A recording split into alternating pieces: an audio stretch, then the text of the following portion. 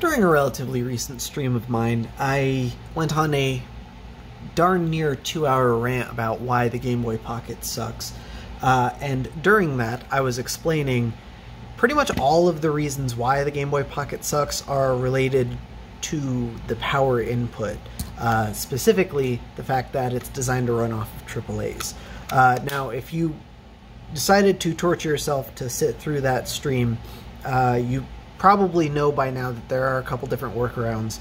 Uh, the best one, as in the most simple and most effective, I think, is to just use um, these lithium AAA batteries. Specifically, I have in here 10 volts uh, but I did actually just get in those new Jugi batteries that I mentioned. I haven't, I have not tested these ones in particular just yet, uh, but I have done quite a few tests on engineering sample batteries, these things, and these all lived up to or exceeded my expectations, except for the very early engineering samples. These were garbage, but since those are just engineering samples. It does not matter. Uh, but anyway, I'm going to run through some tests on these bad boys at some point. That's not this video. This video is yet another solution that uh, helps to remedy that power issue that the Game Boy Pocket is plagued with. And what we've got here is another one of uh, Giltesa's inventions. Uh, and what this is I don't know why, but this was in the bag. There's an LED with broken off pins. I don't think that was supposed to be in the bag, and yet here we are. Anyway, besides the point. When you order one of these bad boys, you get a battery plug because it does not come with a battery. At least mine didn't. Um, you get the board itself still in its own panel, and then you get some wire. This is just three conductors twisted together the purpose of this wire is to connect up the LED indicator board with the main board because this is actually three separate boards. So what you get here, this is the panel. This is, for the most part, nothing we haven't seen before. All this is is a TP4056 charge module uh, that you can wire into the Game Boy Pocket and then you have a USB-C port that you also wire into the Game Boy Pocket. This replaces the stock DC in port. Oh. I forgot there were touch sensors in that. Um, sorry, distracted.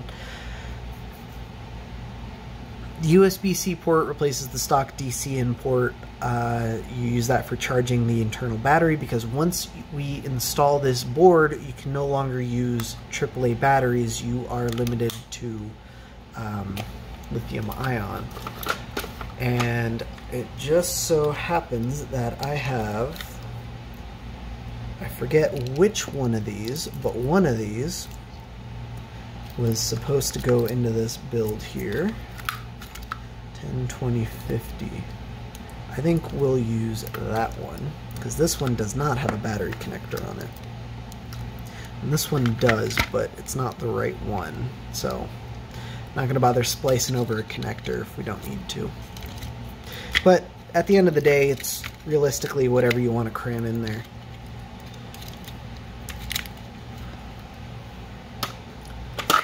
Another problem that we're going to run into, and I'm going to try and work around it, but I don't advise you to. If you buy a newer FunnyPlaying IPS ready Game Boy Pocket shell, most of the work's already done for you. There's just this big battery compartment that you can drop a battery into, no problem. Um, on the OEM style shells, which is what this is, we have this big divider we'll need to cut out. Uh, but I will get to that later. Let's go ahead and get this thing torn down so we can start on the build.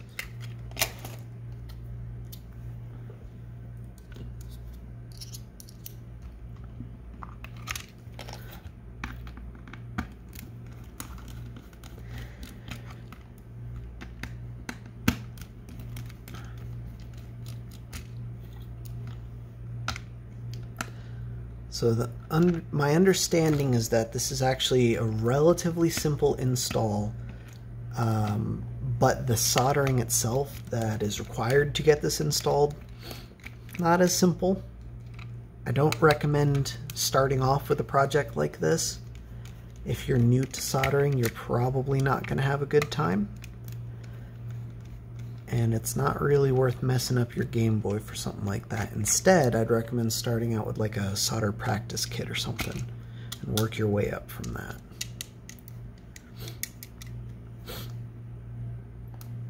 Alright, got that disassembled. We will clean this up later. We'll focus on getting the install done first. And there is probably an easy way to do this without having to uninstall my screen here, but let me pull this off and see what we're working with. If I recall correctly, this is the OSD kit, and I know I did the buttons, which makes disconnecting that not so easy.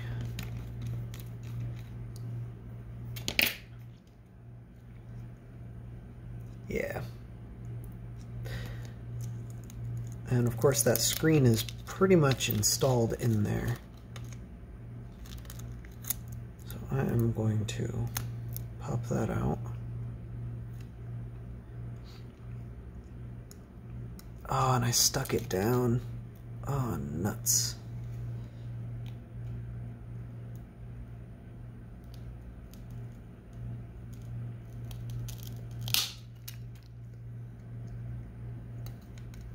I may or may not have ruined this screen.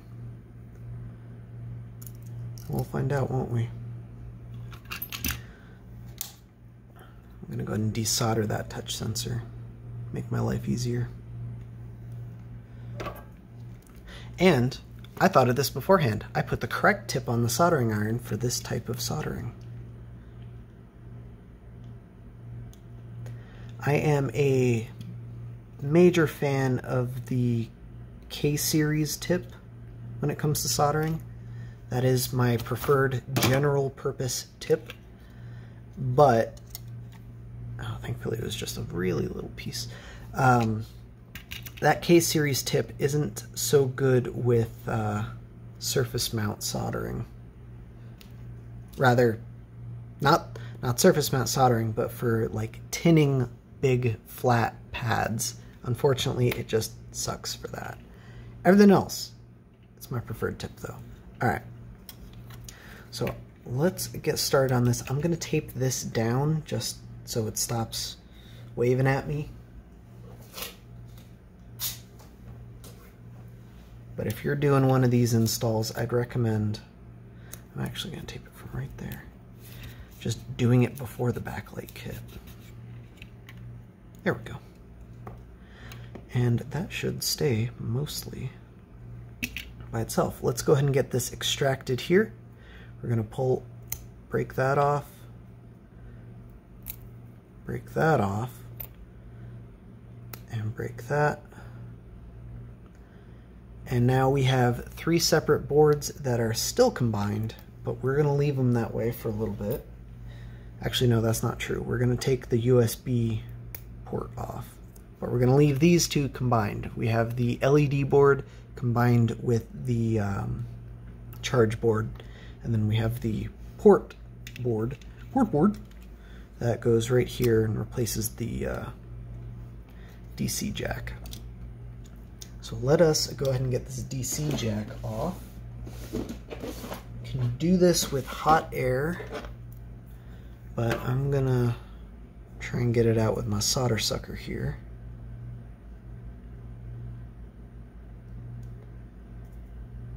Get that port nice and molten.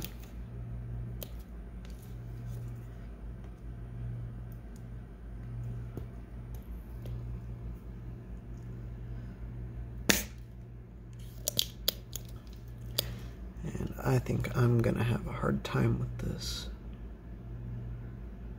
but I'll make it work.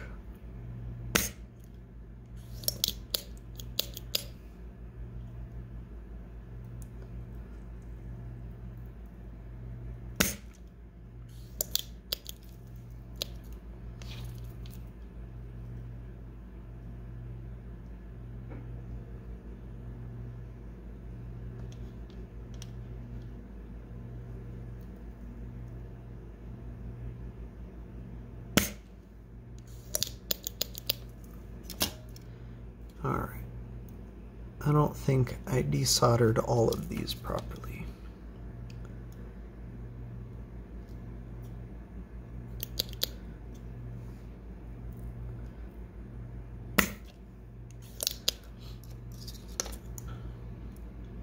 If you don't get it all out on the first try, sometimes it's easier to add more solder and then come back and try again.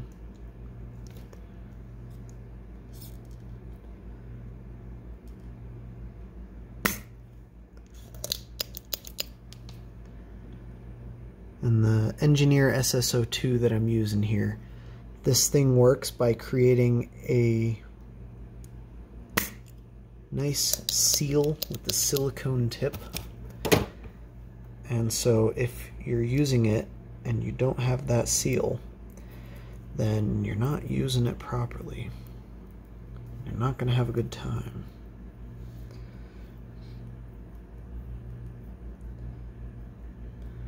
I just clog this thing up. There we go.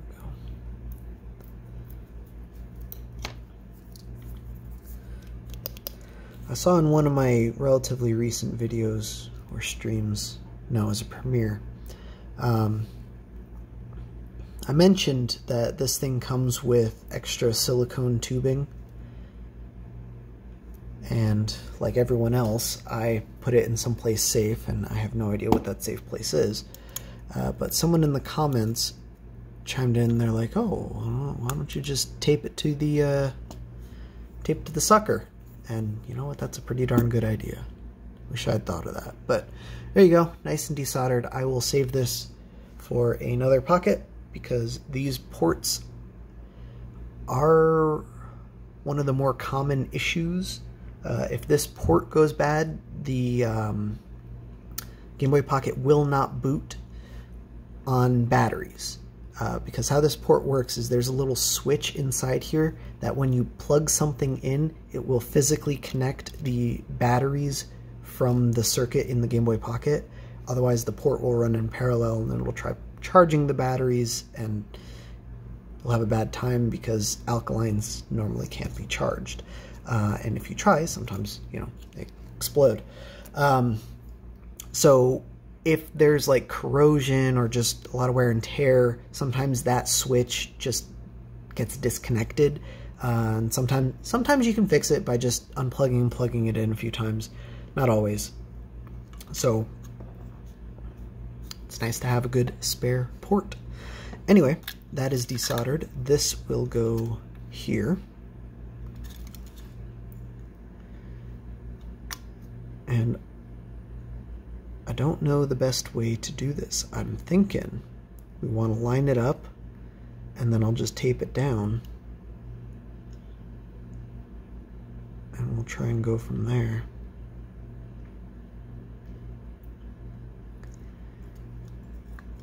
The placement is not tremendously important. Actually, I've got another idea.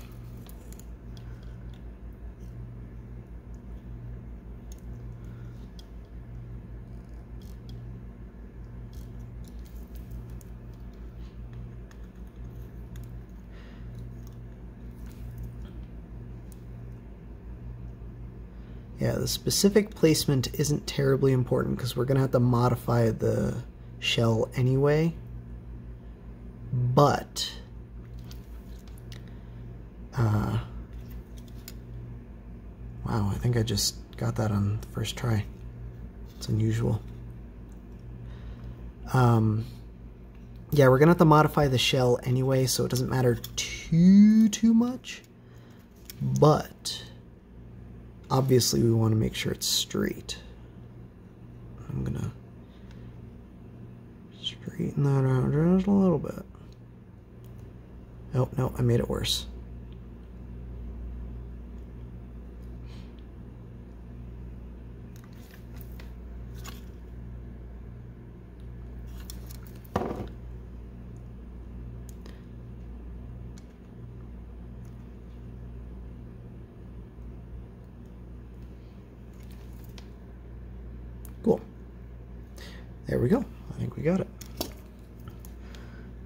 other holes soldered.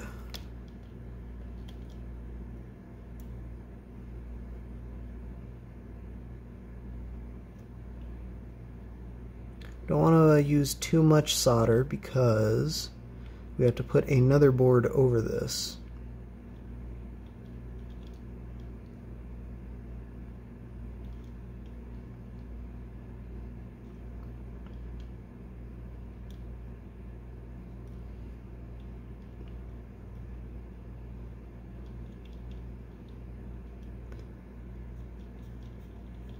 And this is the exact type of soldering that the K-tip will suck at. But thankfully, I have this J-tip.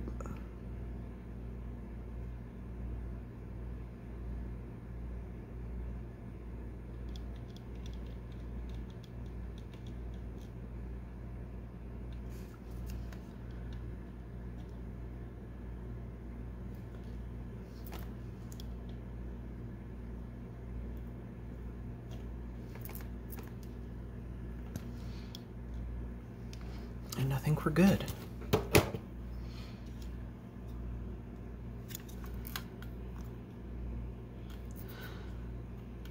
Unfortunately, I don't really have a good way of testing that.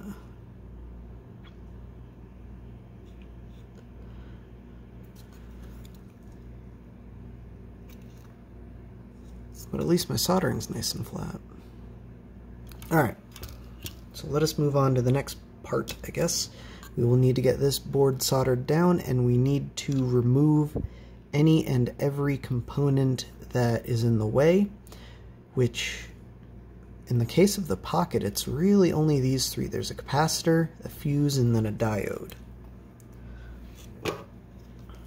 Capacitor is easy enough to remove. We'll just hit both sides. Do that. Diode might be a little bit more difficult. I can't do that with this tip, but certainly try.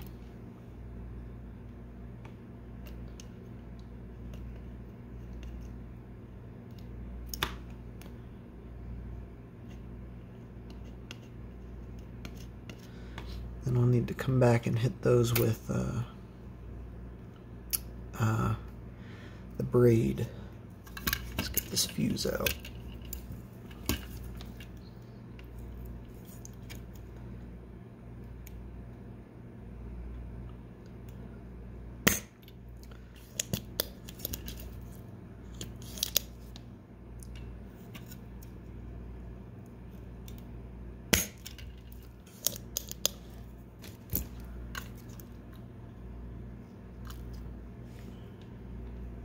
All right. Ta-da!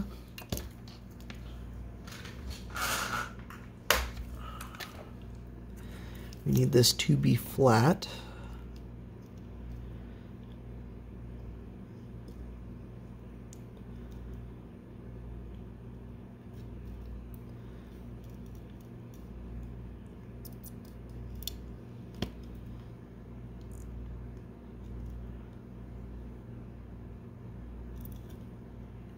There we go. We want every part of that to be flat because we need to put the board over top. So now I am going to take this opportunity to clean up this flux that I have down there. Cotton swabs.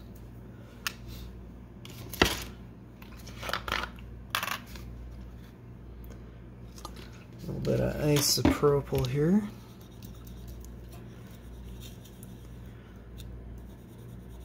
And we're cleaning it up now because I won't be able to later.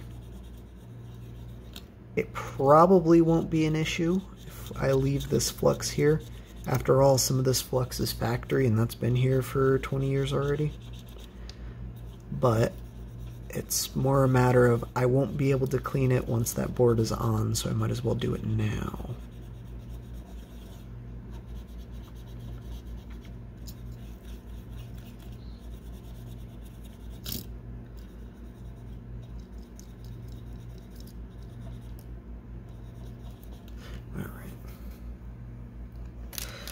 shoot, I should have removed the uh, battery terminals too.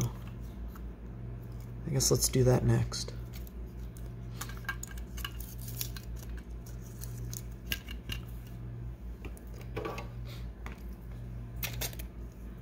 There's no point in keeping those battery terminals. They don't, they won't work.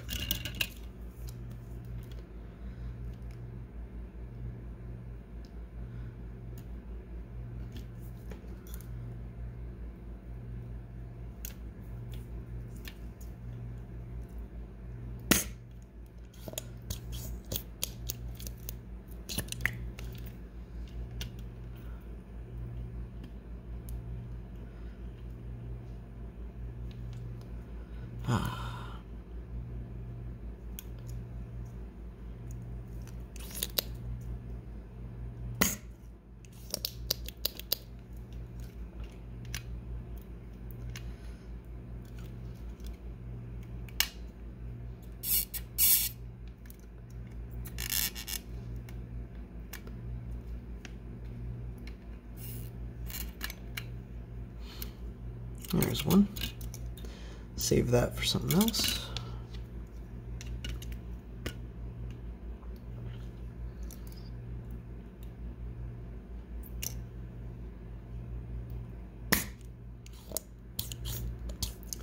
Oh, that's jammed.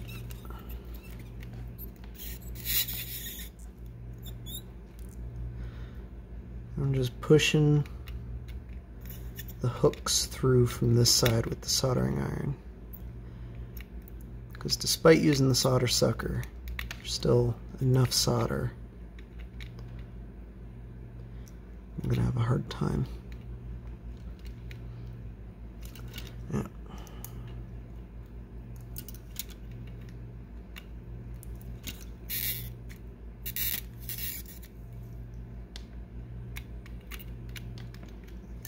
There we go.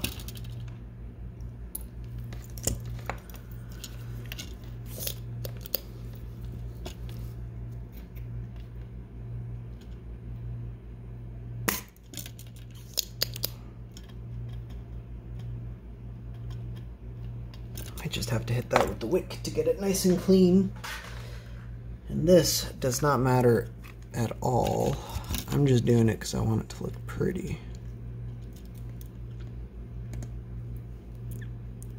There's no functional purpose to me cleaning this up. There we go.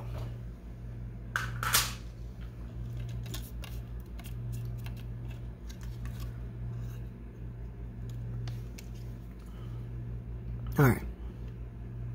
Let's get this installed. We are going to leave the LED board for now.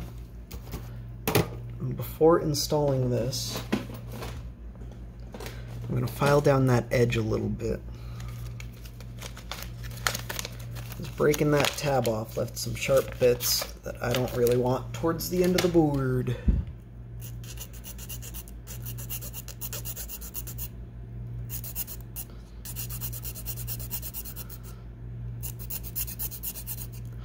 And if Might as well make it nice and flush, eh? Ta-da!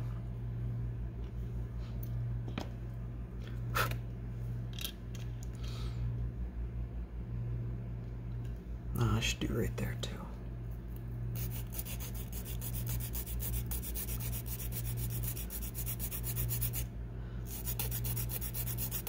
Alright, so we're leaving the LED board attached for the time being uh, to assist with troubleshooting.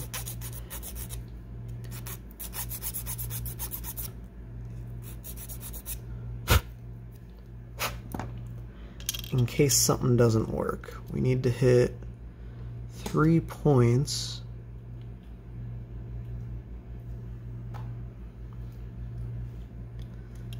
looks like the top of that fuse, top of that diode, and then right down here. I am going to do the bottom point first. I'm going to orient this just so it's easier for me. But we need to melt the solder on that point.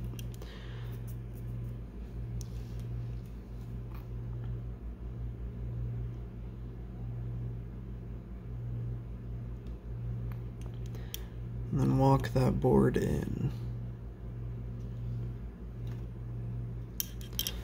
you know what? There's an easier way to do this.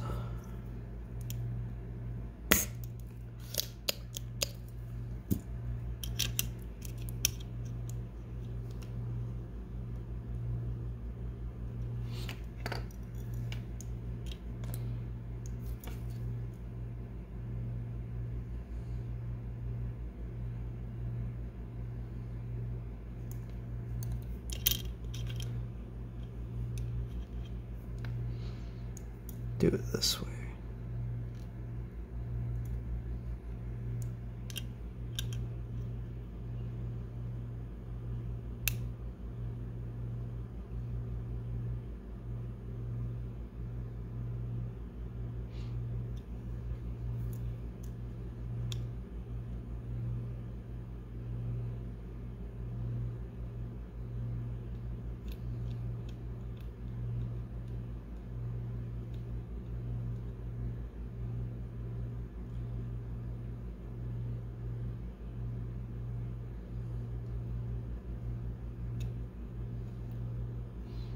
All right, all right.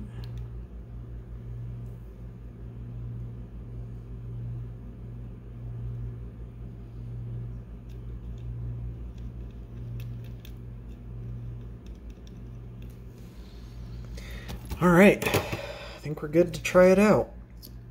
I don't know which battery I'm to try. I don't know if it even matters.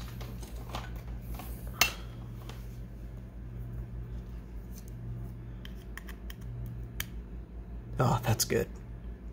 Light means the port's connected. Can't do much to do any more testing. Uh, I think...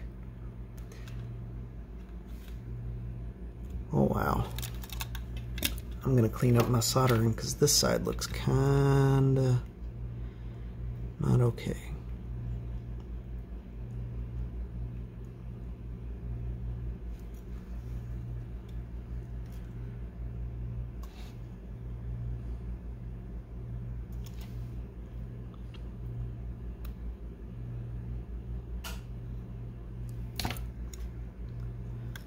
There we go. Now both sides look good. All right, what is the next step? Let us,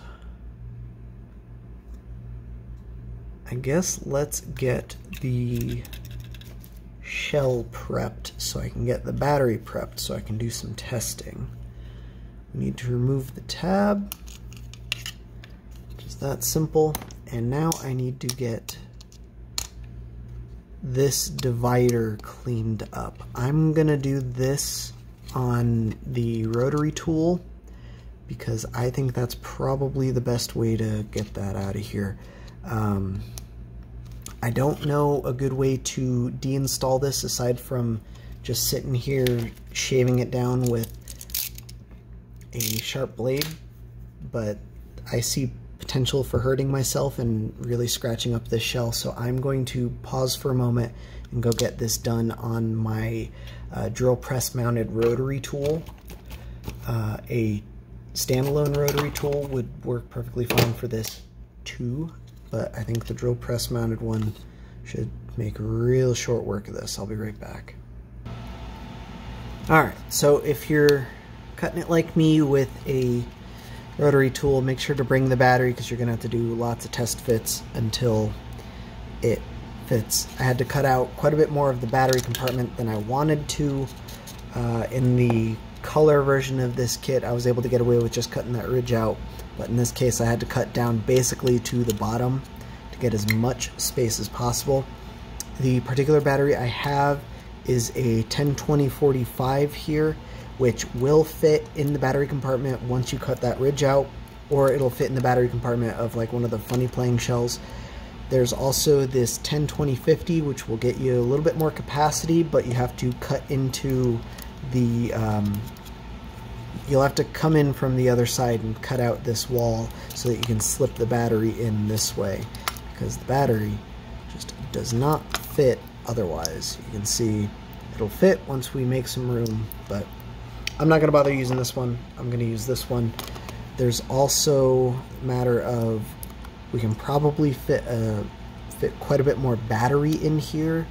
Uh, this is a 1020 45. I don't know if a 1025 45 is a thing, but if so, that might be good. Uh, maybe even 1028 45. I don't know. Someone have to investigate further. Uh, the numbers on this battery are because it is about 20 millimeters wide, but we have about, ooh, not as much space as I thought. Um, 24 millimeters of space. Uh, so if 102345 is a thing, that, that'll fit nicely. Uh, of course, you can always just cut out the entire battery compartment and then cram as large a cell in there as possible. That'll work too, but this is what we got, this is what we're doing. Alright, so I will need to splice in this battery connector. I think I will do it... Oh no. I'll do it the easy way.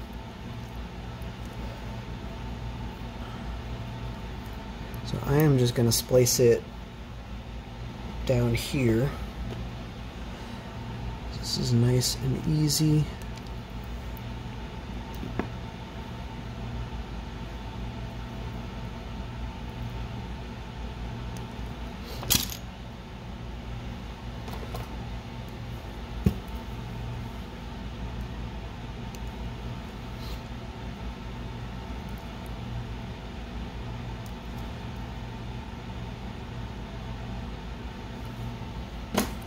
Never cut both wires at the same time on a battery.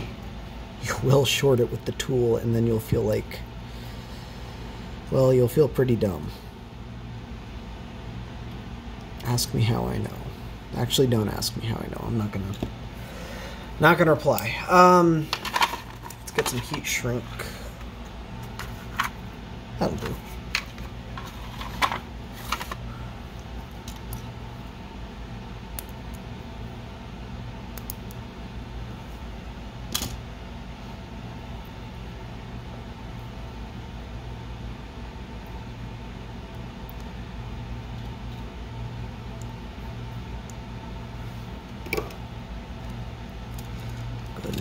Tin both these.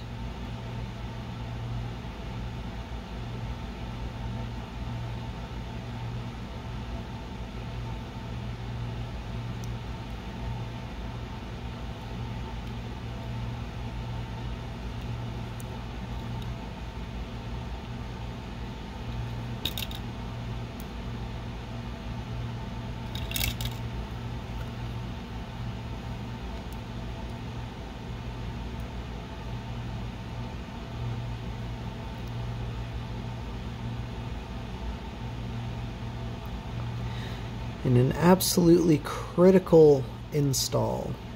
It would make more sense to tie these two wires together and then solder them. This is not a critical install.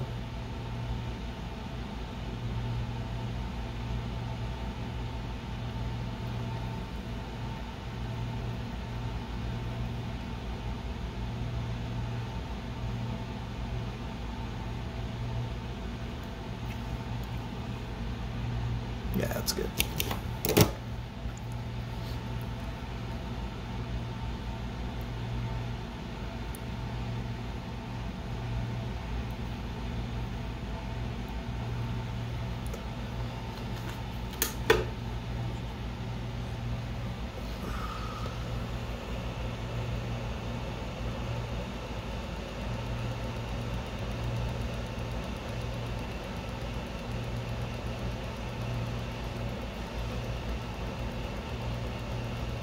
Ta-da!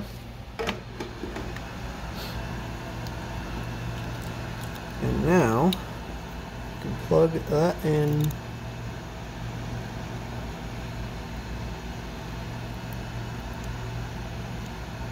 there.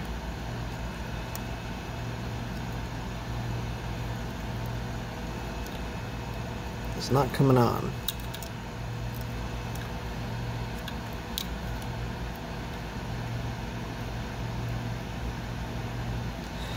That's a concern. Let's see if it charges at the very least.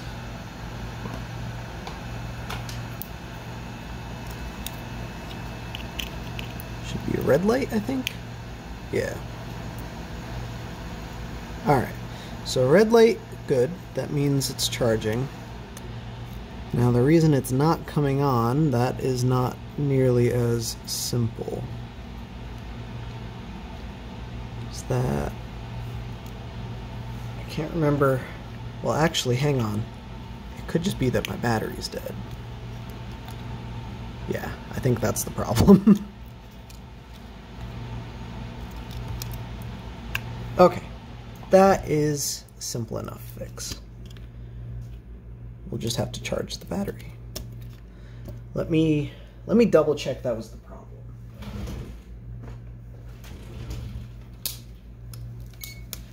Altimeter on voltage mode. Yeah. 3.5. I don't know what just got pumped into this battery, but it was dead. And now we're good. All right. So last up, I'm gonna go ahead and unplug that for now. It needs a charge, but there's not a whole lot I can do about that. Let us do the LED indicator. We will need to remove the stock LED. And you can do solder sucker if you want, but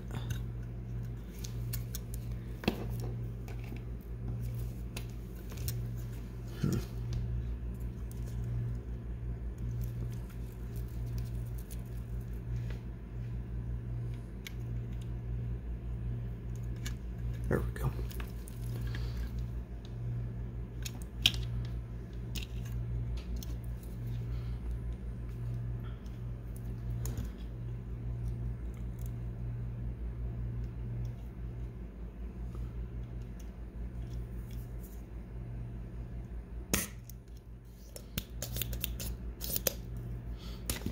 I'm just going to leave one of those full of solder And let's get this thing broken off here.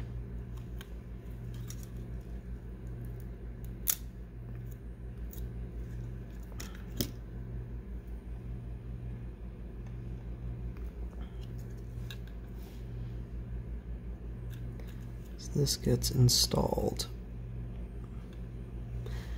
just like that.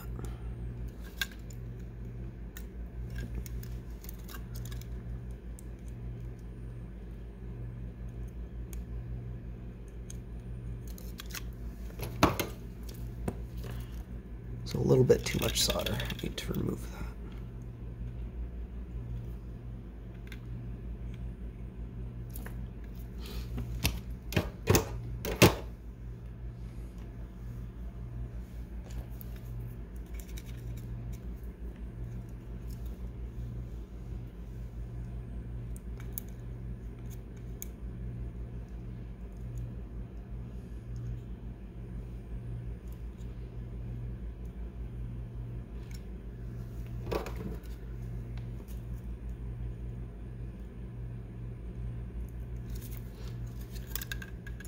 A little bit crooked.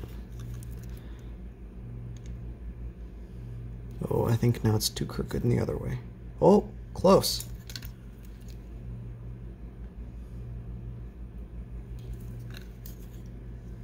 There we go.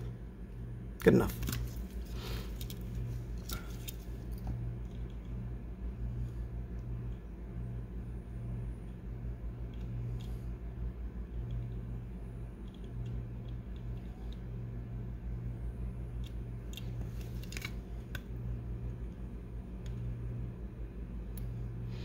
Alright, make sure that's soldered down.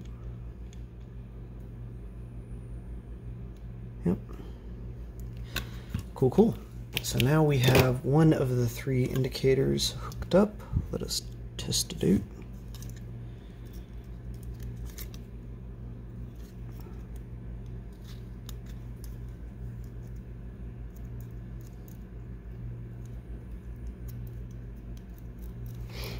Hmm.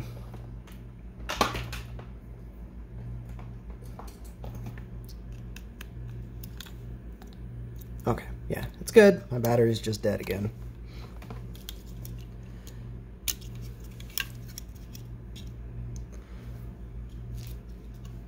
Alright, last, the wire.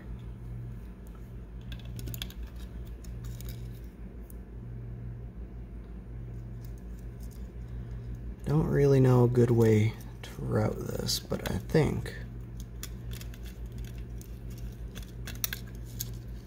I can run it under the cart slot. Just run it along the edges.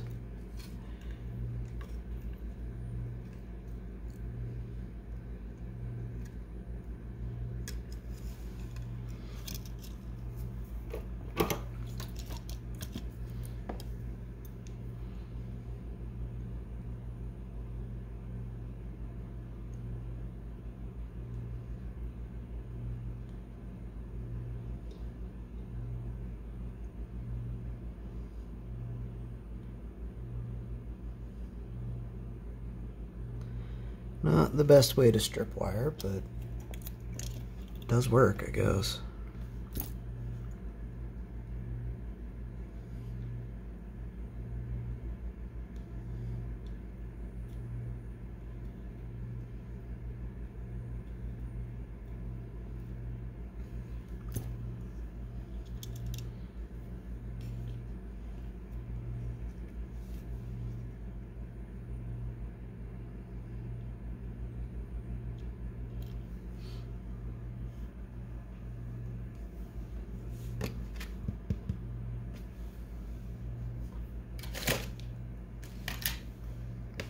have, oh, there. I set them aside so I'd be able to find them.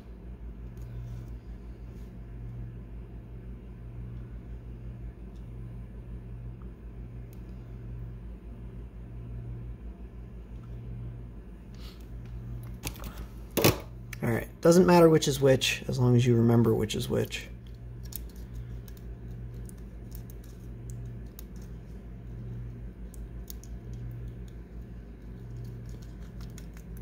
Also, I think that can probably get routed that way. I want to leave some of this extra wire just in case.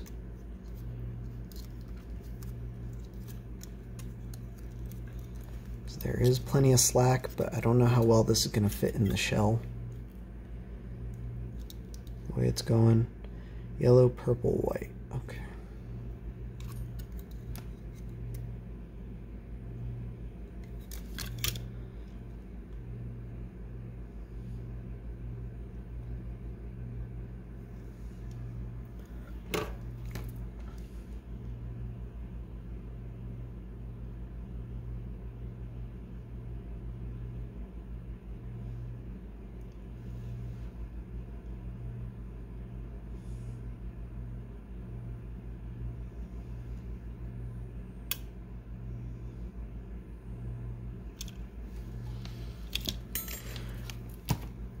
All right, so yellow is depositive. So yellow goes on top.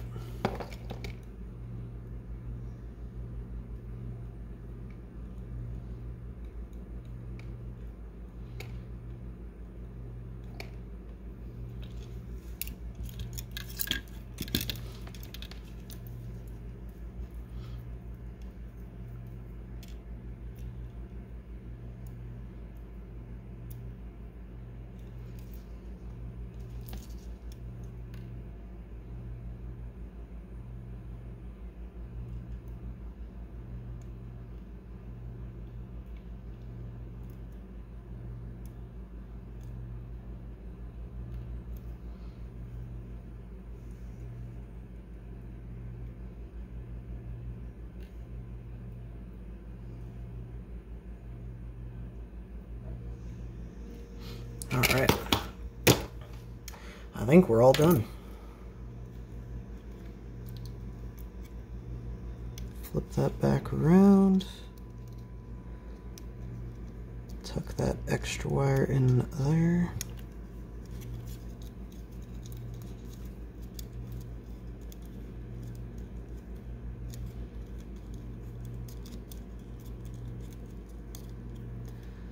That way we have some room to maneuver should we need it.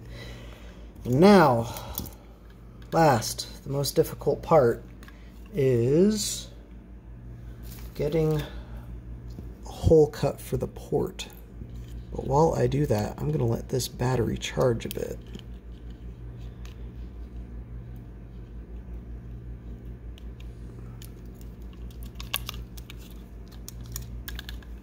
And if we plug this in, should have, what, a red light? Boom. Alright. So now, we need to take this, be very careful of the screen, and we need to cut a charge port down here.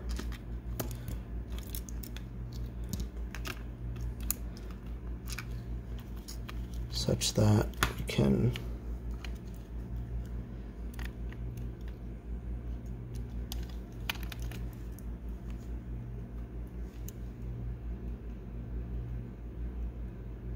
Something's hot. Never mind. Oh no, the TP4056 module is running pretty warm. Okay. So I'm to do my best to line that up. You can see the USB-C port is just about in the middle there.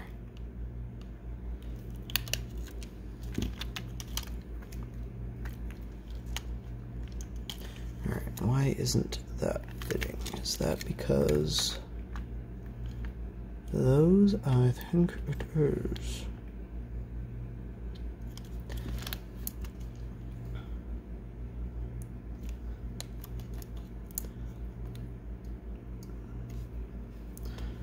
I'm going to try and mark this off.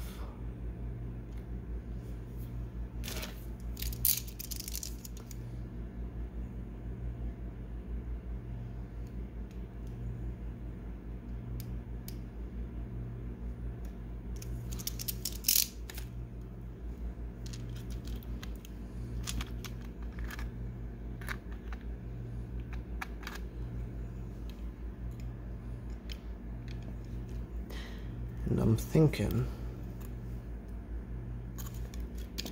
I'm going to cut that on the rotary tool as well.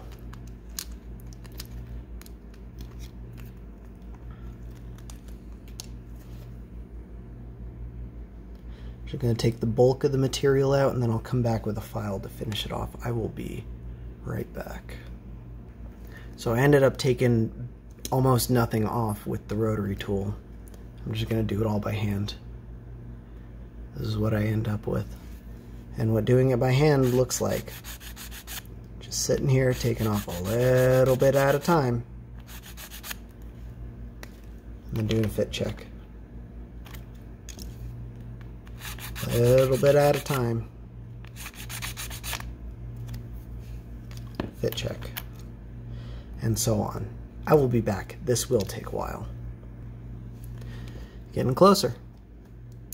You can see the port actually sits down there now. I just gotta cut to depth. Almost there. Alright, half an hour later, I think I've got it. So that was a lot of file, guess, check, file, guess, check. And I think, I think I did a pretty decent job there. So still need to do just a wee bit of cleanup, but show you how I take care of that. I ended up trimming off these four nubs. I don't think it was explicitly necessary, uh, at least to get all four of them, but they're not doing anything anyway, except getting in the way while I was uh, trying to file away.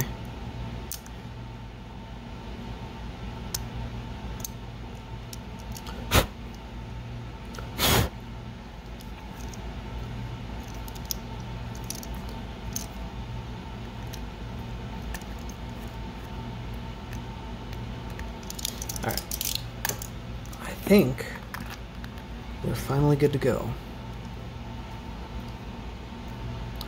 So let's go ahead and get this thing put back together. I'm going to unplug that for now, because we will need to have it unplugged for assembly.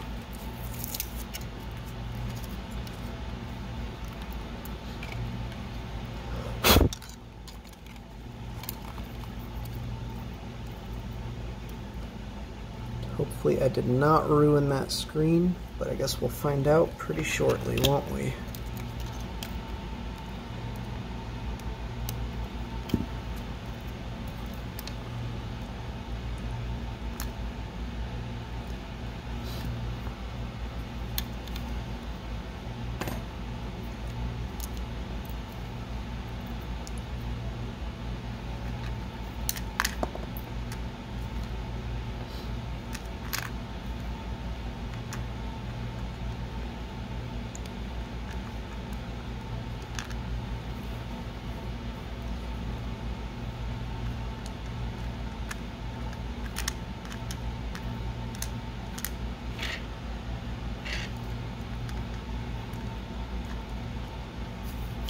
Alright.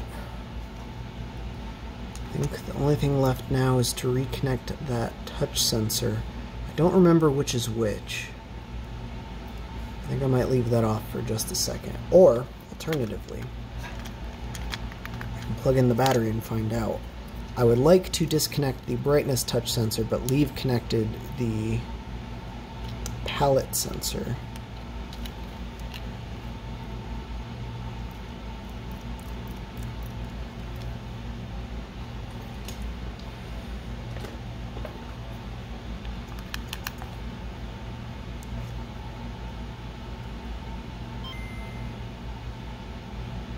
Okay, so I don't know why I'm having troubles getting this thing to boot. We will troubleshoot that in a moment.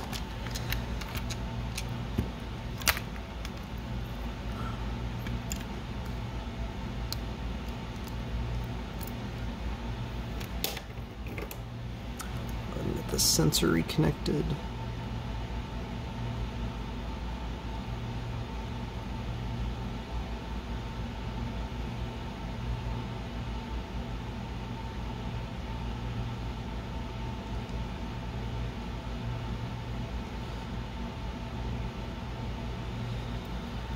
With this particular kit, I don't care to have the touch sensor connected for brightness because you can set the brightness through the OSD, but I would like the palette sensor connected because there's no easy way to toggle the palettes. Like you can manually edit every palette, but you can't just like swap between them with the OSDs. So that is that is the reason for that. Um, another thing, another consideration is that this kit in particular, the OSD kit, there is a bug where if you change the settings and then power it off without giving it a few seconds to save the changes to the uh, built-in storage, uh, it will corrupt the settings and then you'll have to factory reset it. If you have a touch sensor right by your power switch, so you hit it while you're switching it off, it's real easy to accidentally do that. I don't want to do that. So let's... Alright, so it looks like there's more trimming we need to do here.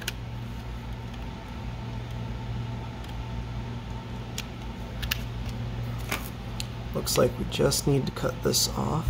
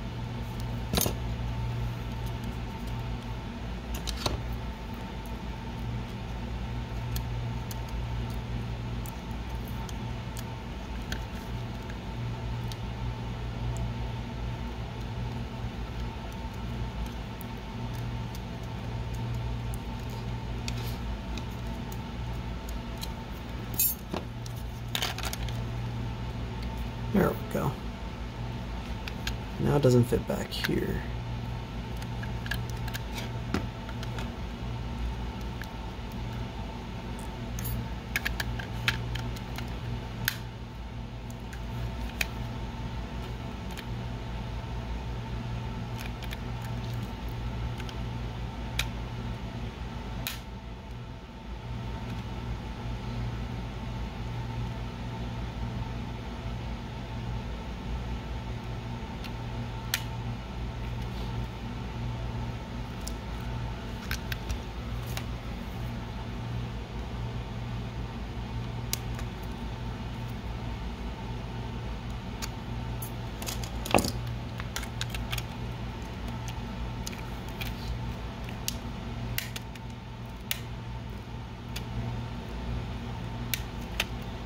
Not fitting together still. I think I need to figure out what's going on before I continue.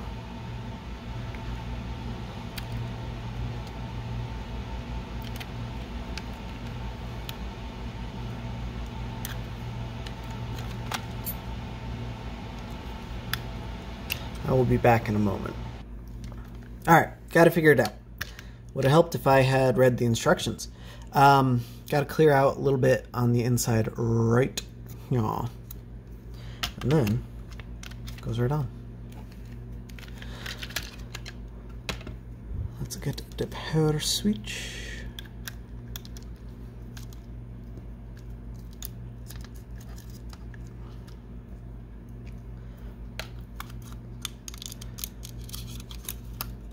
And the battery. Uh, Giltesa in his instructions says just clear out this whole area of the plastic so you can plug this in without having to take the battery or the rear cover on and off. I really don't want to trim that much plastic, so I'm going to not do that.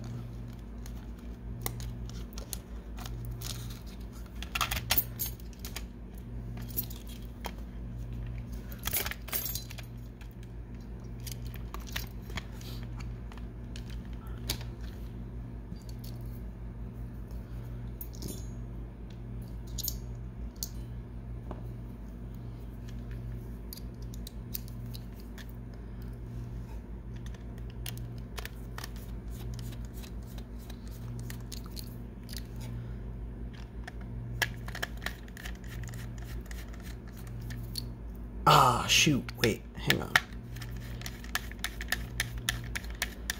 I kind of messed up.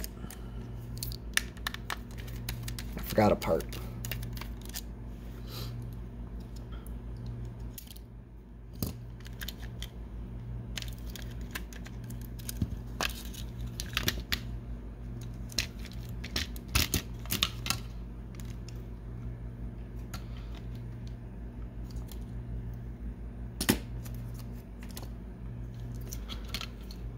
And as it just so happens, there it is. Alright.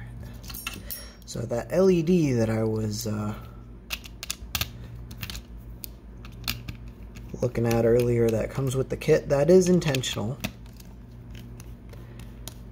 Definitely confused me, but there's a purpose behind it. Let me show you what that purpose is. Take this, flip it up, we can drop the LED in that hole there.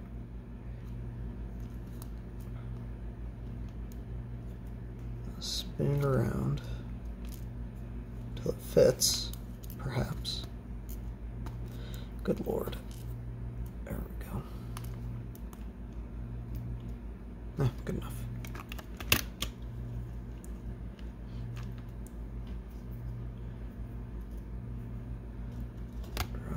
in.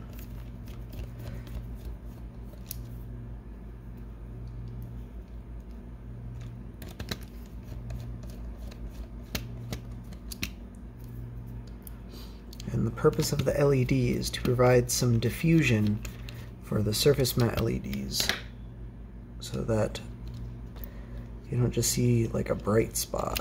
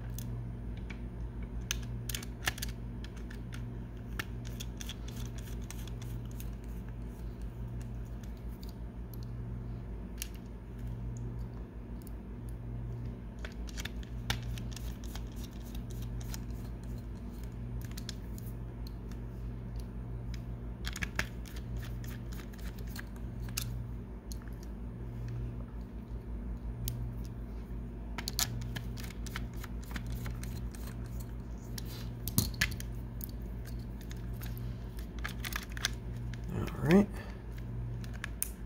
Tuck that in there. And then we can have a brief moment of existential crisis while I realize I have mislocated the battery cover. But don't worry. Showed up. It always does. Make way more sense to cut these as long as they need to be, and that's it, but I did not do that. Of course it didn't do that. There we go. And there we go. And look at that. The diffusion is actually really nice. That's that's pretty clever. Pop game in there.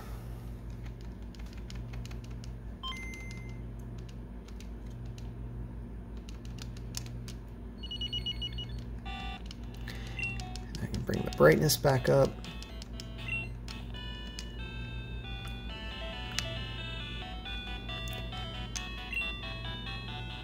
Everything still works pretty much as expected. It's a Game Boy Pocket. There's not...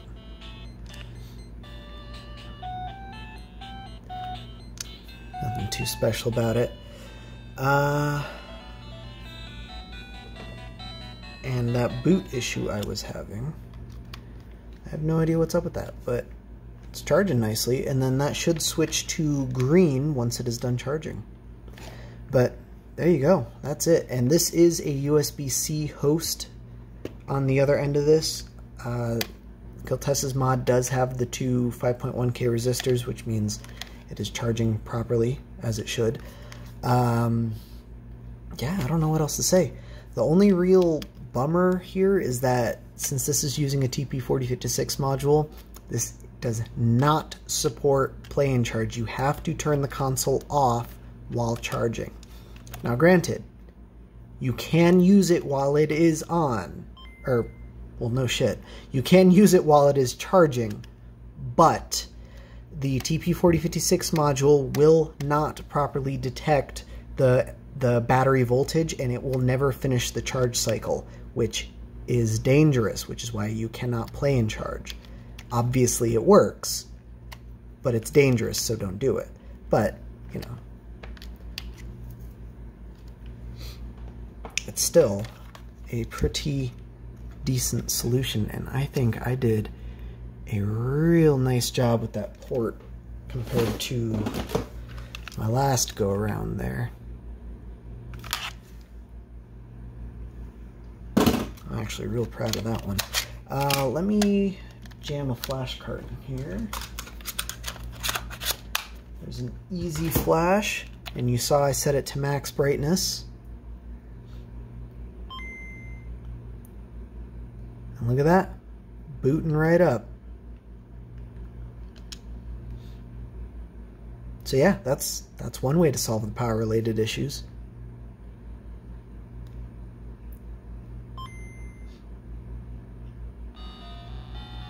Now, I don't know what sort of battery life to expect out of this thing. I guess I'll have to run some tests on that. Um, I'm probably not going to publish anything. I mean, I might put something in the notes eventually but keep in mind the battery life will vary significantly depending on which specific battery you have, which specific Game Boy Pocket you have, which specific carts you're running, and which specific brightness and backlight kit you're running. So any numbers I publish won't be too useful, but there you go. I mean, it certainly works. And I mean, for the amount of work that it takes to install it, um, I'm not sure I can recommend it to everyone, but you know what? It's not bad. I'm digging it. I'm really digging it. Uh, I'm gonna have to grab another one for another Game Boy. I I was very hesitant on which Game Boy to install this in, but um, I think I made the right decision. And even though I had to carve out that battery compartment. Um, yeah, like I said, you can carve out more of the battery compartment if you want to install a larger battery. I am pretty confident you can get one of these bad boys to fit if you were uh, dedicated to the craft. If you remove the entire battery compartment, I have no doubt you can cram one of these bad boys in there. Um, that, this is 1500 milliamp hours versus the 900. Assuming these are accurate in what they're labeled, then that should be that should be quite a chunk of uh, extra battery life. But anyway, yeah, I'm I'm digging it. Uh, so I guess I'm gonna have to thank RGRS Retro Game Repair Shop for sending me this bad boy to check out. Uh, Giltesa for making it in the first place. Um, I will throw some links down in the description to Retro Game Repair Shop where you can buy one of these things. Uh, I will also throw a link down to Giltesa's video if you want to watch his video, and I will throw a link to the PDF instructions, which, well, no shit, that doesn't work. This is in the Game Boy Color. Um, PDF instructions so you can.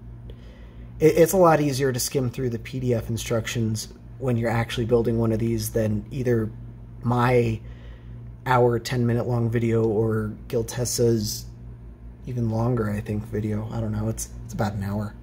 But either way, there you go. And look at that. It's booting my flash cart just fine. This is not the most power hungry flash cart, but it is darn close. The only thing that'll beat this flash cart in power usage would be the original EverDrive and then the clones of the original EverDrive, but I don't suspect most people are using one of those at this point because EZ-Flash Juniors are real cheap and they work much better than those EverDrive clones. And it's not a clone, it's its own thing. Um, of course, the EverDrive does work better, and then even better than the EverDrive would be original cartridges. But, you know, whenever I test backlight kits with Game Boy Pockets, I always test with this flash cart because I think it represents a worst case scenario in terms of power usage and this is handling it just fine so far. So I guess I'm just going to leave it now, let it charge up, and um, I guess I'll do some runtime tests and see what we can get out of this thing uh, compared to some AAAs. I, I probably should have tested these first because I can't really swap these in now, but hey, I mean, it does work. Seems pretty solid. The hardest part by far is getting the shell cut for this thing, but beyond that, I mean, it's it wasn't nearly as bad as the Game Boy Color one. Even I think it was quite a bit easier. Um, much fewer components that you need to clear out. There was just three. Game Boy Color was I don't even remember, but it was more than three. And yeah, everything goes together as long as you clear out all the required material. So there you go. Thanks for watching, guys. Have a fantastic night.